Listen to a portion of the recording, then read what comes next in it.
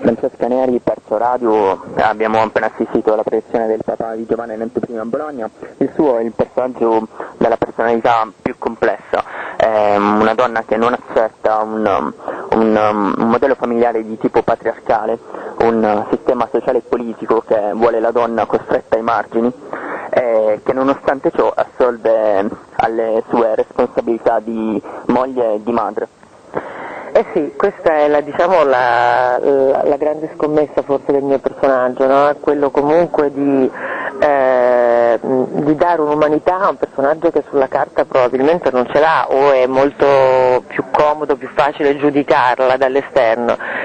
Invece ovviamente sì, eh, sicuramente questo personaggio ha le sue ragioni, le, le, le ha avute e all'interno di una relazione così stretta tra padre e figlia eh, la cosa più difficile probabilmente è non solo intervenire, ma nel momento stesso di un fatto così drammatico,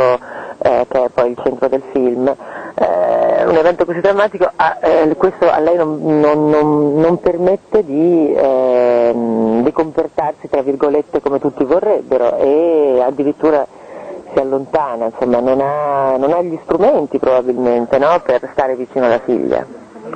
Un personaggio che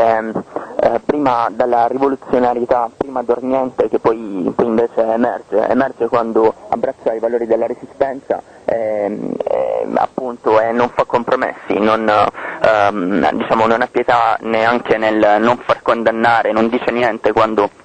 quando diciamo, il tribunale improvvisato condanna il personaggio di Ezio Greggio alla fucilazione magari troppo frettolosa, non so.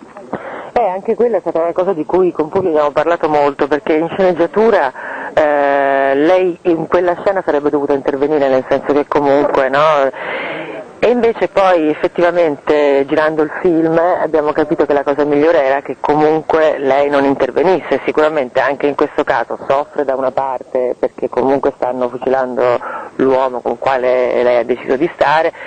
però dall'altra parte appunto c'è, c'è una sua integrità eh, che eh, piano piano viene fuori e alla fine eh, lei è coerente a questa. Esatto, per concludere è un personaggio tutt'altro che dimesso.